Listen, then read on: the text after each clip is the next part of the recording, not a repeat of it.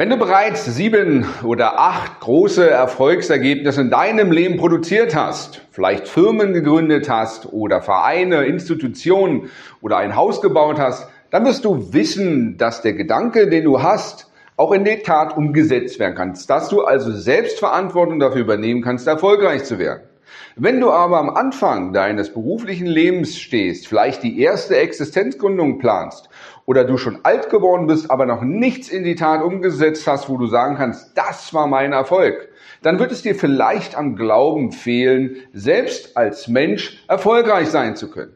Und deshalb werde ich dir in diesem Video aufzeigen, wie du deine Brücke zum Erfolg baust, wie du also aus den Gedanken, den Vorstellungen, den Ideen, die du hast, tatsächlich erfolgreiche Ergebnisse erzielen wirst. Mein Name ist Daniel Schäfer und ich bin nicht gleich als erfolgreicher Unternehmer oder Gründer und Berater in die Wirtschaft eingestiegen, sondern zunächst habe ich gestartet ganz normal als Angestellter. Also ich habe in anderen Unternehmen oder Institutionen des Staates gearbeitet. Und da gibt es nicht so viel große Erfolgserlebnisse, die in mir das Bewusstsein aufgebaut haben. Alles, was ich mir vorstellen kann, kann ich auch umsetzen. Das habe ich dort nicht gelernt, sondern ich durfte mit kleinen Projekten und Vorhaben Schritt für Schritt starten. Und die große Herausforderung ist, dass die erste große Existenzgründung in der Regel auch bei dir nicht auf einen großen Erfahrungsschatz zurückgreifen kann. Folglich also brauchst du Know-how, Ermutigung und auch Strategien, die dir helfen, die dir Sicherheit geben, dass den Gedanken des Vorhabens, das du umsetzen willst, tatsächlich auch Realität werden kann. Und darum geht es in diesem Video. Schauen wir nun zunächst mal die Ausgangssituation der meisten Menschen an. Auch bei mir damals war es so, dass meine erste Existenzgründung lediglich eine Idee war. Sie befand sich im Inneren meines Kopfes, in der sogenannten inneren Welt. Im Außen war noch nichts zu sehen. Selbst wenn ich darüber gesprochen habe, habe ich wenig Bestätigung, wenig konstruktives, positives, ermutigendes Feedback bekommen, sondern eher Gelächter und ein wenig Zweifel wurde gesetzt, dass ich als Beamter mich selbstständig machen will. Die gute Nachricht ist aber, dass du über zwei große Freiheiten verfügst und dass du alleine auch die Verantwortung dafür hast, was du denkst und was du dann als nächstes tust. Das bedeutet, die ersten beiden Schritte sind, in deiner inneren Welt deine Gedanken neu zu sortieren, sprich Verantwortung dafür zu übernehmen, was du denkst und was du nicht mehr denkst. Und eine erste Entscheidung ist, sich Gedanken zu machen, wie die Idee oder das Vorhaben tatsächlich in der Realität in der Zukunft aussehen wird und was dazu erforderlich ist. Und als nächstes kannst du anfangen, dein Tun, dein Verhalten, deine Zeitgestaltung, deine Fähigkeiten, die du hast und Talente, die du hast, also Ressourcen, auch zielführend Schritt für Schritt einzusetzen. Das heißt, die ersten beiden Schritte sind, damit dein Erfolg manifestiert wird, sichtbar wird, dein Denken und dein Verhalten zu ändern.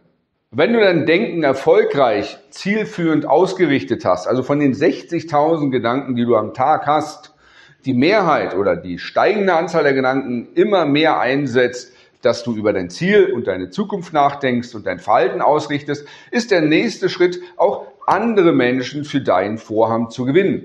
Denn es wird schwierig sein, wenn du beispielsweise ein Haus baust und du alles alleine machst die entsprechende Grube ausgräbst, das Fundament legst, Sanitär einbaust, Elektrik einbaust, das Dach deckst. All das wirst du wahrscheinlich nicht alleine schaffen. Du brauchst dort ein Team, einen Architekten, Statiker, Bauleiter, Bauarbeiter, Handwerker, die letztendlich das alles für dich zusammenbauen. Das Gleiche gilt auch, wenn du ein Auto baust, ein Produkt baust, deine Webseite baust oder deine Existenzgründung Wirklichkeit werden lässt. Du brauchst dann eben nicht einen Architekten und Statiker als Gründer, Du brauchst viel mehr Menschen, die kompetent sind. Du brauchst vielleicht jemanden, der Marketing Ahnung hat, der im Steuerrecht Ahnung hat, einen Anwalt, der vielleicht im Patentschutz und Markenschutz Ahnung hat. Du brauchst einen Unternehmensberater, um deine Ertragsmechanik, deinen Finanzplan aufzubauen, deinen Businessplan so zu erstellen, dass du vielleicht auch die Finanzierung bekommst, dann von Banken, Förderinstituten oder Investoren. Das Geheimnis ist also, dass du dein Denken in der ersten Linie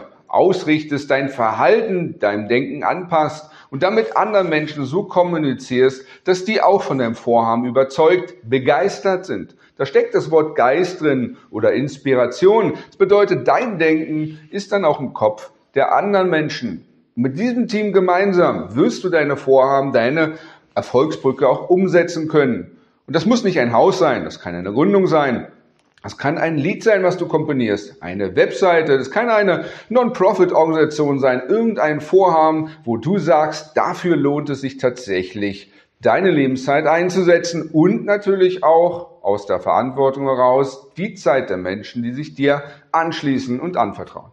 Ich lade dich nun ein, das, was ich jetzt gesagt habe, auf den Prüfstand zu stellen. Schau einfach mal die Kleidung an, die du hast oder der Stuhl, auf dem du sitzt. Beides war zunächst ein Gedanke. Beides hat die Gedankenwelt des Kreators, des Schöpfers, des Designers, des Produzenten bewegt.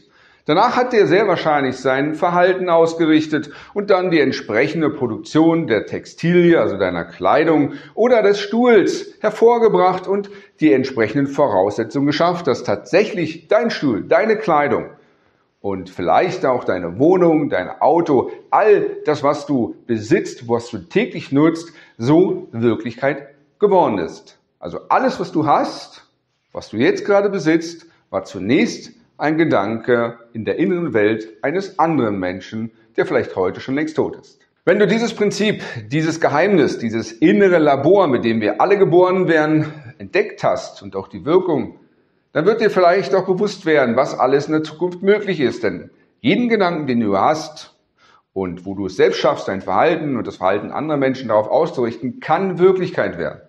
Bei der Existenzgründung ist es natürlich auch so, dass es in der Regel kein Hobby ist oder Non-Profit-Organisation, sondern deine gesamte Ertragsmechanik gilt es so aufzubauen, dass die gesamten Investitionen, die Kosten sich tragen aber auch dein Unternehmerlohn getragen wird und das anvertrautes, aufgenommenes Fremdkapital zurückgezahlt werden kann.